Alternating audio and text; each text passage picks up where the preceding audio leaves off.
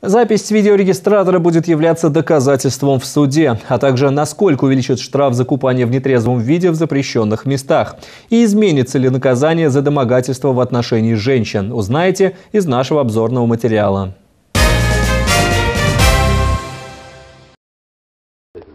Теперь любое записанное на камеру преступление будет считаться доказательством. Правительство России поддержало принятие законопроекта, согласно которому материалы фото-киносъемки и звука и видеозаписи могут служить доказательством по делу об административном правонарушении. В настоящее время судья может не рассматривать их, если решит, что они не помогут делу. Теперь же председательствующих обяжет принимать во внимание любые видеозаписи в качестве доказательств. Но материал должен быть привязан ко времени и месту нарушения нарушения. Необходимо, чтобы на записи были узнаваемые окрестности. Кроме того, автор обязан будет подтвердить все в суде. Но на это соглашаются не все. К тому же придется доказывать, что фото и видеозаписи не подвергались монтажу.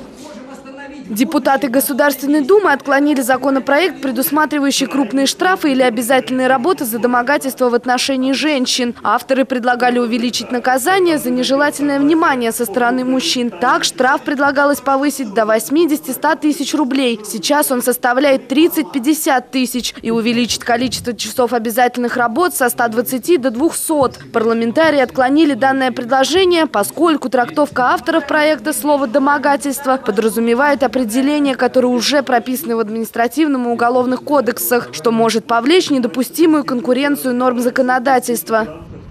До 4 тысяч рублей вырастут штрафы за купание в запрещенных местах и в состоянии алкогольного или наркотического опьянения в Саратовской области. Такое решение приняли члены Комитета по госстроительству областной думы. По информации МЧС, большинство жертв на воде связаны именно с купанием в нетрезвом виде и в запрещенных местах. А ныне действующие штрафы от 100 до 500 рублей никого не пугают. Кроме того, парламентарии решили ввести денежное наказание за нарушение порядка предоставления муниципальных и госуслуг. Для должностных лиц органов местного самоуправления штраф составит от 5 до 10 тысяч рублей. Для работников муниципальных учреждений и многофункциональных центров от 1 до 3 тысяч рублей.